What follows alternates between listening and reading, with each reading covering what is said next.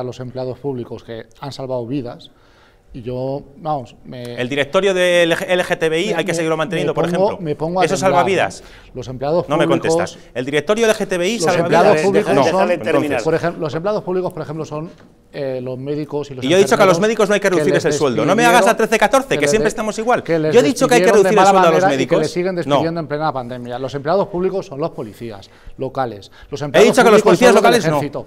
Los empleados públicos eh, son los profesores que siguen educando a nuestros chavales en casa, pese a que hay pandemia. Esos son los empleados públicos, gente que se está jugando la vida. Mm. Los cargos a- a políticos, te he a dicho, y a por los que- ejemplo. y a los que eh, hay que respetar ¿Eh? constantemente. Yo, eh, frente a reducir lo público, lo que creo es que hay que ensalzar a los empresarios de este país. Y una buena muestra es Paco Cecilio, ¿no? por ejemplo, que tiene una página web estupenda donde puede coger y comprar su ropa.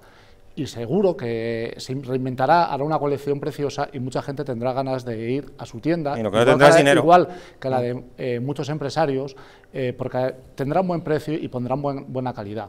Apuesto, como ya dije otra vez en, en este programa, por un patriotismo de, de, de los consumidores. Es decir, que lejos de comprar por alguna compañía de estas que viene la ropa de China, pues que sea eh, que invirtamos eh, lo poco que nos compremos, si es que nos vamos a comprar menos cosas, en empresas de Europa, de España, eh, que van a, a dar un mejor producto.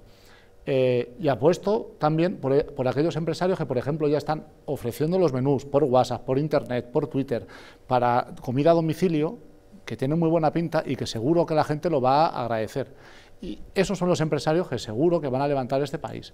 Entonces, frente a los recortes, lo que hace falta es imaginación. Y yo estoy convencido que los empresarios de este país nos volverán a dar una lección de saber afrontar eh, la crisis y saldremos todos adelante.